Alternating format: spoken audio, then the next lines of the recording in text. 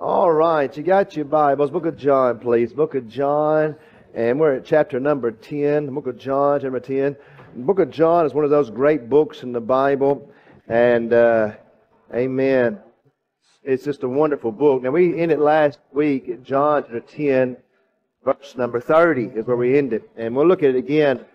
Jesus says this in John chapter 10, verse number 30. You need to mark it down, highlight it. And the Bible says this I and my Father are one. I and my Father are one. Now, notice how small that verse is. Notice how easy that is to understand. I and my Father are one. Just got to believe it, amen. Believe what God says and what the Bible says. Don't add to the Bible, take away from the Bible. Just believe what the Bible says. I and my Father are one. So Jesus believed that he and the Father were one. He believed in what we call the Trinity or the Godhead. He believed that he was God. I and my Father are one. That's what he says. Now, it'd be foolish for any man to say that. It'd be blasphemy for any man to say that. The man would have to be a lunatic or a, liar, just, just deceived, one or the other. And, but Jesus would say that's totally different. I and my Father are one. Verse 31. Then the Jews took up stones again to stone him. They're going to kill him again. Why? Jesus answered them, Many good works have I showed you from my Father. For which of those works do you stone me? uh, which one of those are you killing me for? Have I committed adultery? Have I killed somebody? Have I done what? What are you? What are you going to kill me for? What are you going to stone me for? I want to know. And every man ought to know what he's getting accused, what he's getting accused for and persecuted for. Oh, why you treat me like that? Oh, what's the reason? What have I done? Show me. I want to know. So that's a good thing to ask, isn't it? Jesus says, Well, why you why are you going to kill me? So sometimes if you think some it's good to ask questions. You think somebody's treating you a certain way, ask, well, have I done something wrong to you? What's the go? I mean, what's happening? I feel like there might be some kind of rift between us. Is there something wrong? Is am I thinking wrong here? They pick stones up about to kill him. He sees the stones in the hand. Oh, what are you killing me for? What have I done wrong? Now, now you better know you hadn't done anything wrong in a situation like this. And Jesus knew he hadn't done anything wrong because he's the perfect Son of God. They couldn't say anything. Now look what happens. The Jews answered him, saying, For a good work we stone thee not. But for what? Blasphemy. And because thou, being a man, makest thyself God. They understood what he was doing. They understood clearly that he was making himself, saying that he was God. And they said, that's blasphemy. And it would have been. If, it, if he'd only been a man, it would have been blasphemy. Right. And they'd have had every right to stone him. That's what they were supposed to do according to their law. But he says, Jesus answered, verse number 34, answered them, Is it not written in your law? I said, You're gods. Wasn't that written in your law? now he's quoting from Psalm 82, verse 6. Right. Now look at this verse, by the way. Jesus answered them and said, answered them, Is it not written in your law? I said, Ye are gods. It's a lowercase g. Yeah. Lowercase g. Now, if you look in the Word of God from Psalm 82, verse 6, uh, let's just look at it together. What's he mean? Let's look at it together, okay? Uh, Psalm 82, verse 6. Psalm 82, verse 6. I said, Ye are gods. Is it not written? I said, Ye are gods. Psalm 82, verse number 6. We're going to look at the context of the psalm so we get, it, get the idea. God standeth in the congregation of the mighty. He what? He judgeth among the what? The gods. How long will you judge unjustly? So what's he what's he saying to these gods? You're not judging right. You're judging unjustly. So so so So these gods, lowercase g, are connected to judging. Now, teach you something without any Hebrew. Amen. Any, don't have to have Hebrew knowledge, Greek knowledge. The way you understand the Bible is you look at the context. Right. So these judges, these gods, they judge. Verse, and they're judging unjustly. Verse 2. But God's the ultimate judge. Verse 2. How long will you judge unjustly and accept the persons of the wicked? Selah. So what are these gods doing? What they're doing is this they are judging unjustly on behalf of the wicked people. In other words, the wicked people are doing wrong, and instead of them saying, You've done wrong, and therefore you, you deserve da da da da to happen to you, instead, because they, these are people that are in admiration, these are people that are, that are rich or whatever is the case, but they're wicked people, they're judging on their behalf. They're treating the wicked better than they should be treated. You guys getting that? All right, kind of like today. Give me a little money, you know, underneath the side. That's right. Now look what happens. Verse number three. He tells these gods, defend the poor and fatherless. So what's he want the gods to do? Defend the poor and fatherless. Do what? Justice to the afflicted and needy. Deliver the poor and needy. Rid them out of the hand of the wicked. They know not neither will they understand. They walk in the darkness. All the foundations of the earth are out of course. I've said you're gods. And all of you are the children of the Most High. Verse 7 But ye shall what? Die like men. Die like men and fall like one of the princes. Arise, O God, judge the earth, for thou shalt inherit all nations. Now, who are these gods? Some people say that they are the sons of gods, the angels that have fallen from heaven. But the context is talking about he's God's telling these gods, is I want you to do right by your judgment. And I want you to make sure you take care of the poor and the wicked. But you, so these gods, he says, you're going to die like men. You think you're a god, and I've called you gods lowercase g, but you're still going to die like a man. So these gods, lowercase g, can still die like men. Let me tell you something fallen angels don't die. Fallen angels, they get bound by chains and cast into the lake of fire. That's what happens to them. They don't die like men. They're not flesh. And so this is talking about people that have flesh. Look at it says over here in the book of, uh, of uh, Exodus with me, Exodus 22. Exodus 22. Exodus 22. I'm going to show you who these are. Scripture with Scripture is how you understand the Bible. Right. Exodus 22. Look at verse number, uh, Exodus 22, look at verse number 28. The Bible says this, Exodus 22, verse number 28. It's 22, verse 28. Thou shalt not, what does it say? Revile who? The gods. The gods, nor curse the ruler of thy people. Right. So God says, make sure you don't, make sure He says this, that you don't uh, revile. That means talk against them, the gods, and the judge and the rulers of thy people. So these gods are connected to rulers. Right. Who are they? Exodus 7. Look at Exodus 7. Exodus 7. Exodus 7. That's exactly who they are. Exodus 7, verse number 1. Exodus 7, verse number 1. And the Lord said unto Moses, See, I have made thee what? A God, little g, to Pharaoh, and Aaron thy brother shall be thy prophet. Was Moses a God? A lowercase g, but not God, capital G. Do you guys get it? Though there be lords many. Even, even our culture, we talk about Lord, Lord uh, Chancellor, or the Lord this, or the Lord that, but they are not the Lord, amen. And though they might be leaders and high in authority, they still are going to die like men. They still going to come down like a man, like any other man, and God's going to be judging them instead of them being the big head honcho eventually one day, amen. That's what God is talking about. He's not talking about falling angels in that passage. So go back to the book of John chapter 10. He said this in John chapter 10, verse number 35. I'm teaching you Bible Bible. Don't make the Bible say something it doesn't say. Amen. And don't say, start trying to teach some kind of crazy doctrine that makes the Bible look foolish. Yeah.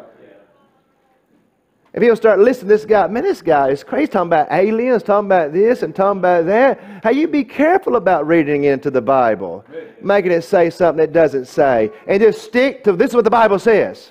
Amen.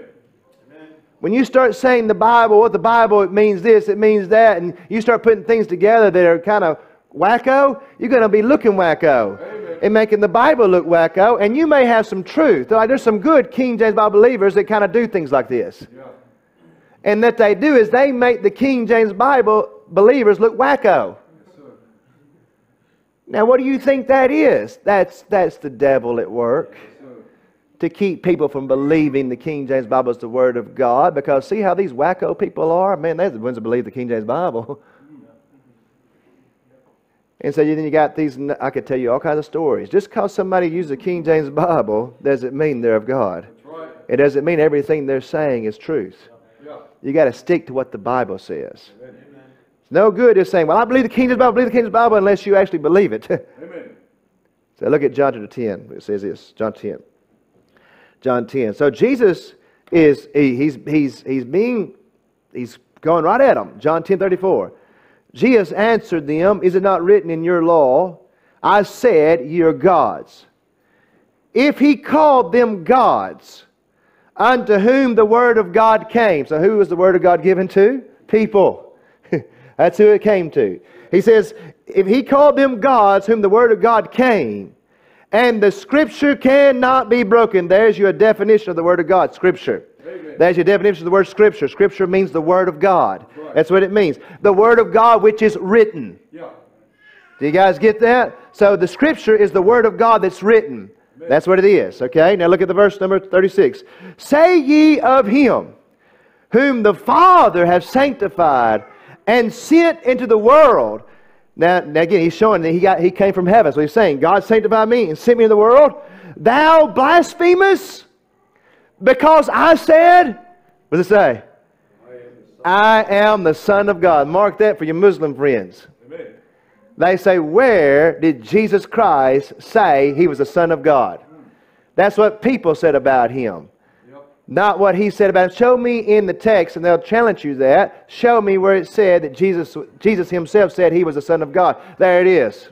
That's right. There's one among many, by the way. He said he's the Son of God. Look at the passage again. He says, Thou blasphemest because I said I am the Son of God. So for him to be one with the Father, he's saying he's the Son of God. Do you guys see that? I'm a Father of one. And he says here, that means I'm the Son of God. So what's he teaching you? The, he's teaching the Godhead, the daughter of the Godhead, the daughter of the Holy Trinity, the God the Father, God the Son, and God the Holy Spirit. That's what he's teaching you. For him to be one with God, it's not like we're one like we agree with each other. It's that they're one God. Amen. God the Father, God the Son, and God the Holy Spirit. He says this very clearly here. Look, it says in verse number 37 If I do not the works of my Father, believe me not.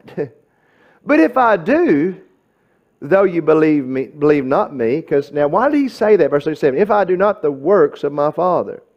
Because they said in verse 33, he asked him, What work are you killing me for, stoning me for? Verse 33, they said, For a good work we stone thee not. So what did they admit to that he did there? Good works. They admitted he did good works. Says, We're not killing you for the works you've done, the good, the good works you've done. They didn't have any bad works to point to. Right. Says, We're killing you because we're going to stone you because you blaspheme. And he says, Well, I've done the works of my Father. you just admitted it. He's just caught them.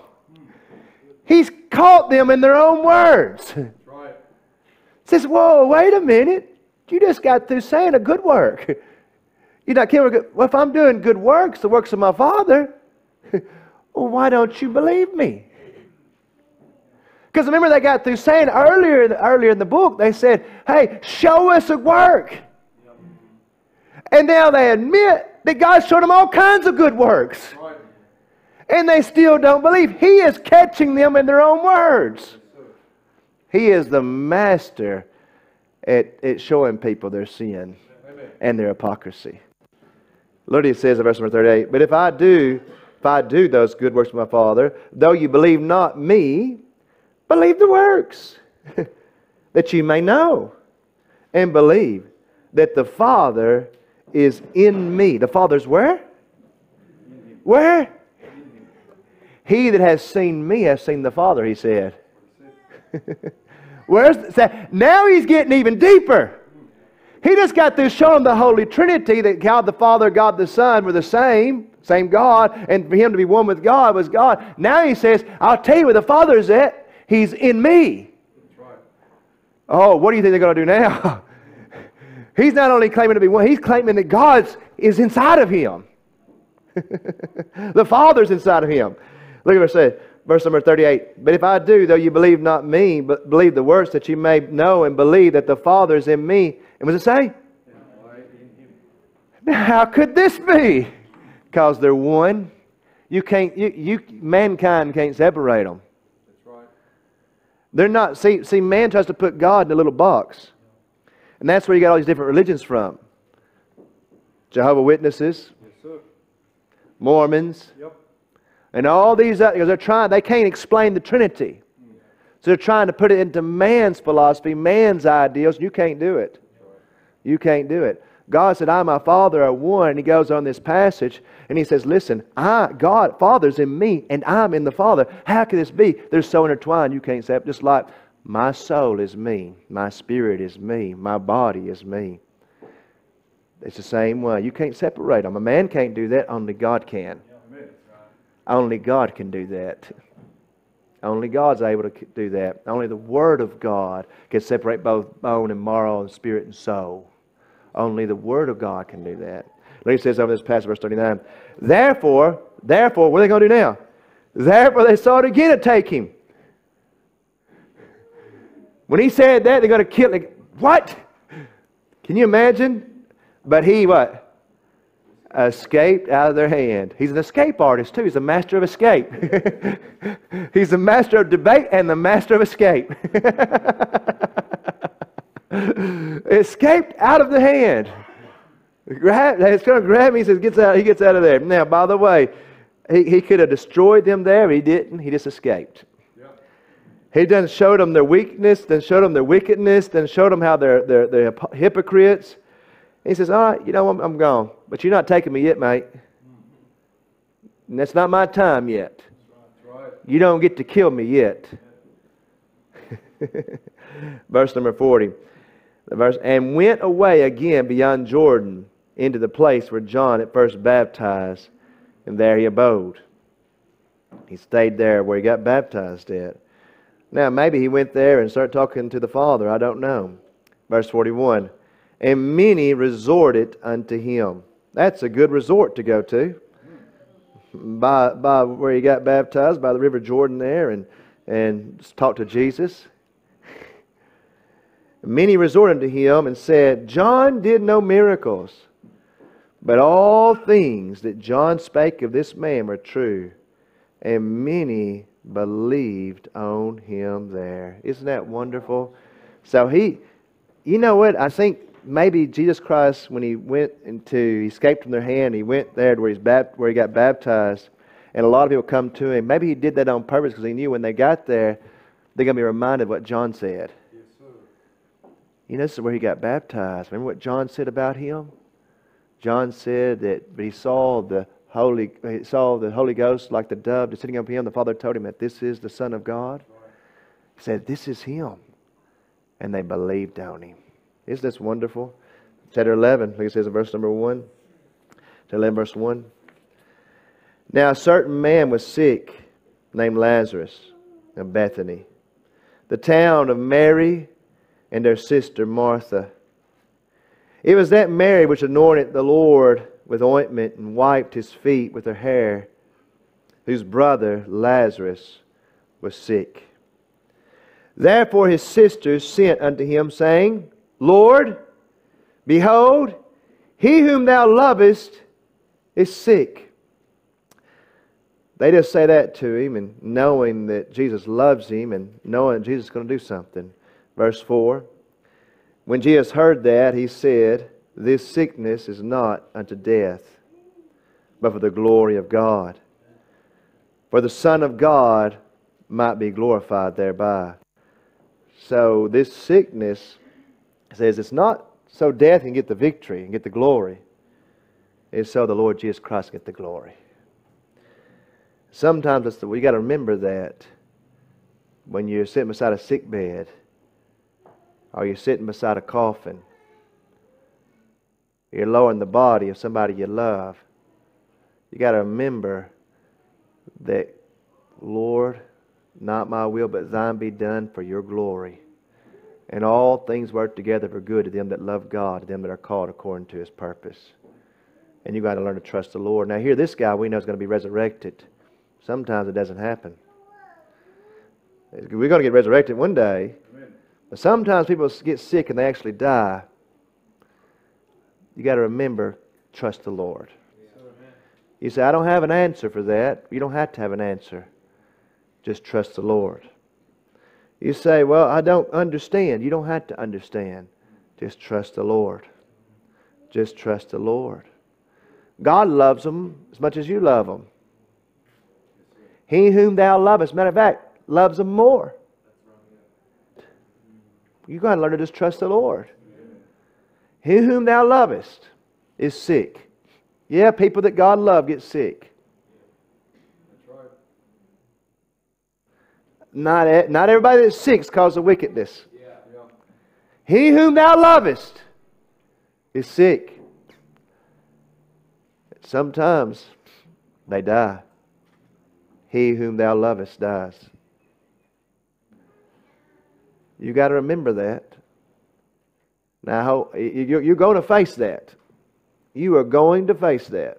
Every one of you are going to face somebody that you love and that God loves, and you're going to put them to bed with a shovel. As hard as that is, and as straightforward as that is, you can either put your head in the sand and ignore it,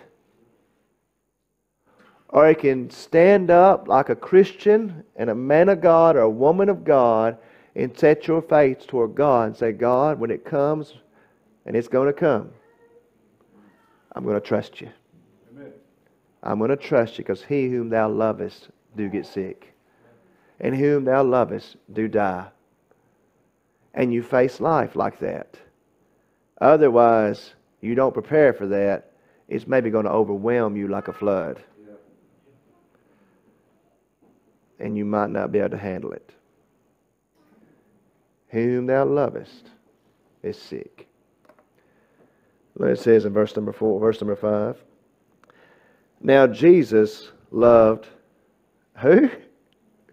Martha and her sister and Lazarus. Now that's interesting for several reasons. People all the time they get on to Martha, Martha, Martha, and they love that passage. But Mary had chosen that, that good thing to sit at the feet. And they think bad toward Martha. But anytime you find the Lord Jesus Christ addressing them, He's almost always addressing Martha first. And talking to Martha first. Martha was a servant, yes, and she served, and sometimes she got she got her eyes on people too much. She should have been thinking about the Lord. That's true. But God sure did love her. Amen. Everybody's different, amen.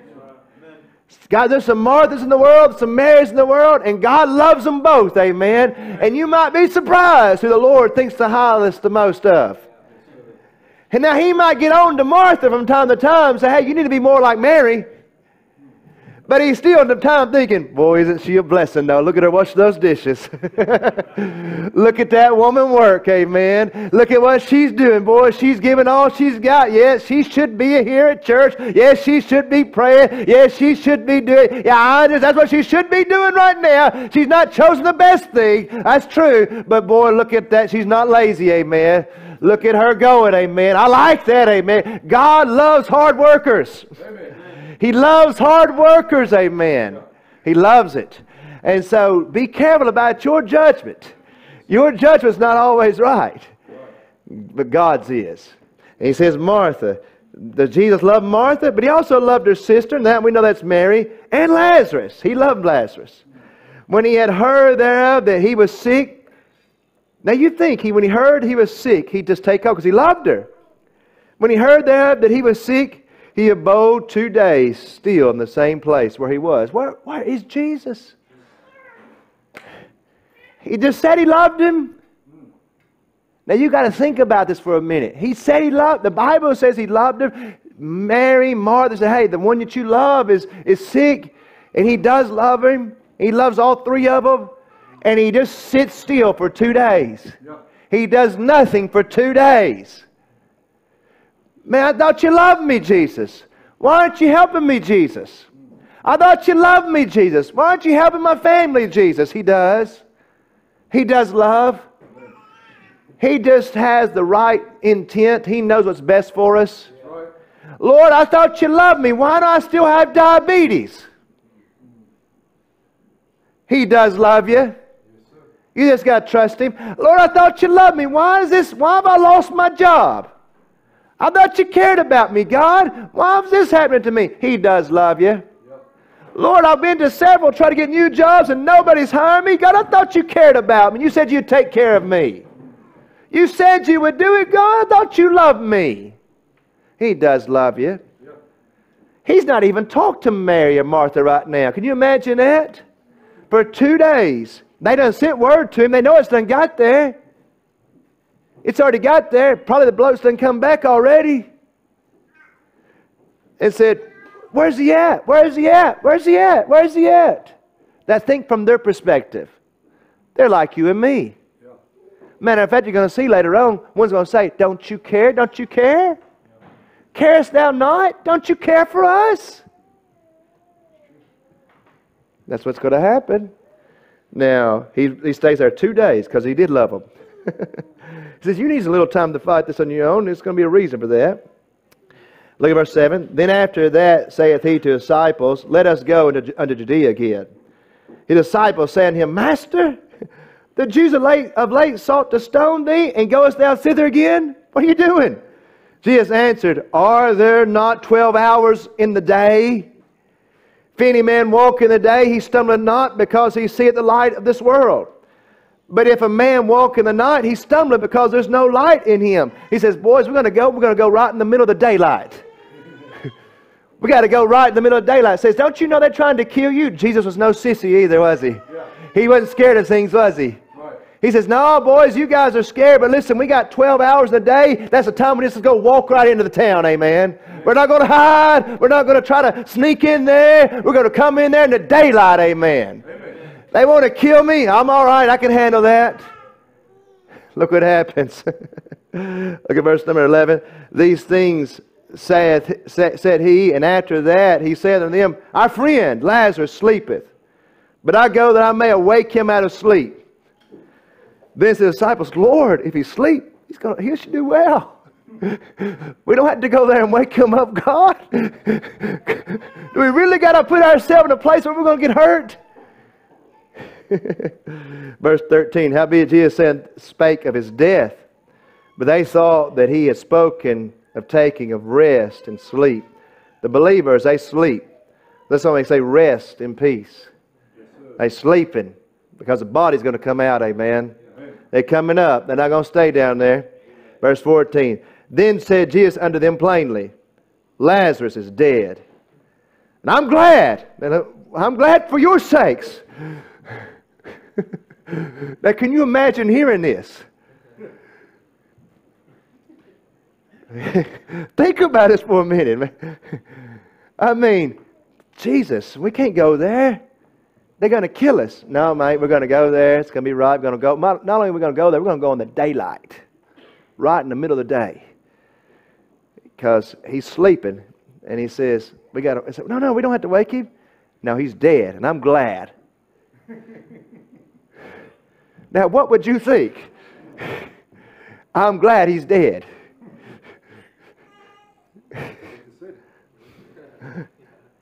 That's rough. Look at that, verse number 15. I'm glad for your sakes that I was not there, to attempt you might, may believe. Nevertheless, let us go unto him. Then said Thomas. Now remember, everybody talks about Thomas too. You guys, you know what's so bad about human beings? Even you read the Bible. You focus on the negative. We all focus on the negative. When you think about Martha, Martha, Martha. You think about David, David and Bathsheba. That's what people think about. Peter, he denied the Lord three times. People think of the negative. Thomas, doubting Thomas. Well, I'll not believe unless I put my hand in there. That's what people think about. But what about this passage? They all think he's going to die. That's what they really think. They think he's going to be killed. Now, Thomas, look what he says. Then said Thomas, which is called Didymus, unto his fellow disciples, Let us also go. What does it say? Let's go die with him too. Now, why don't you think about that about Thomas?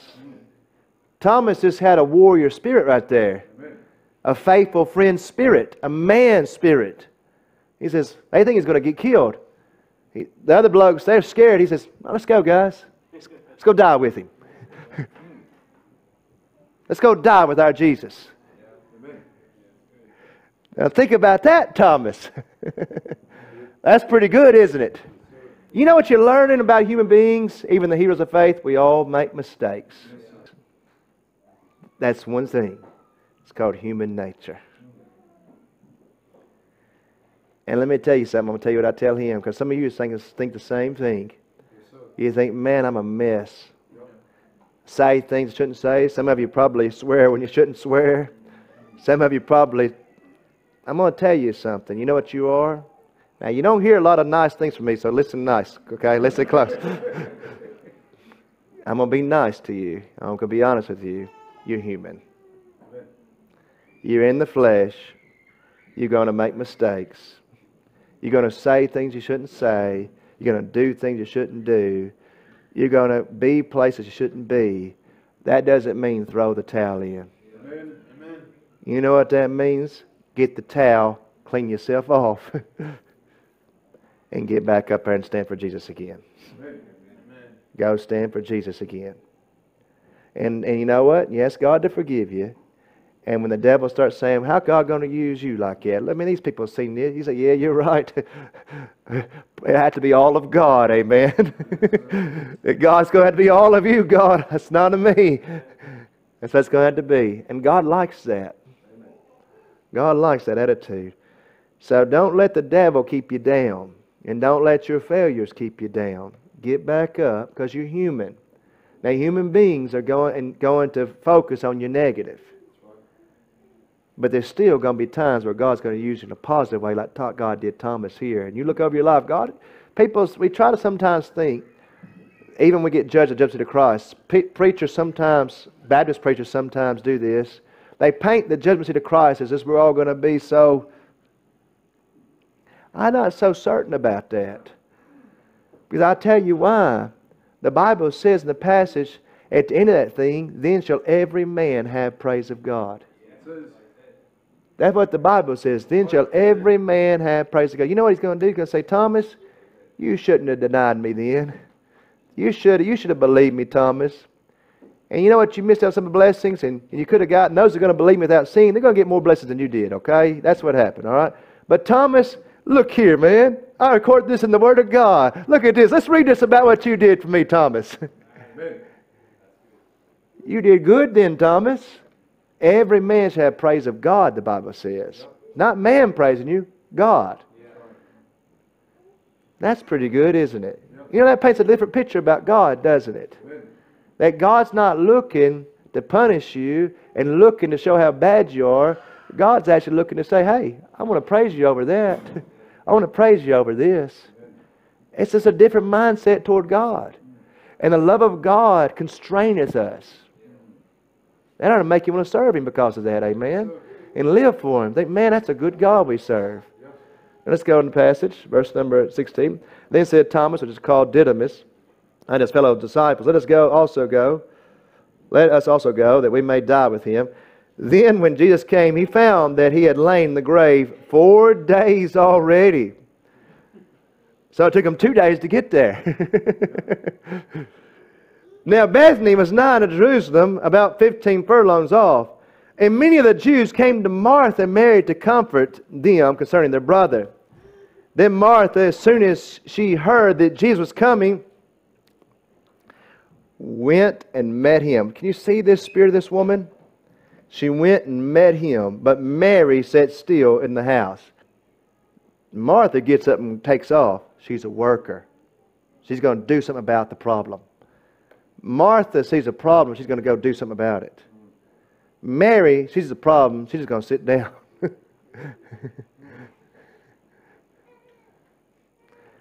and God needs both.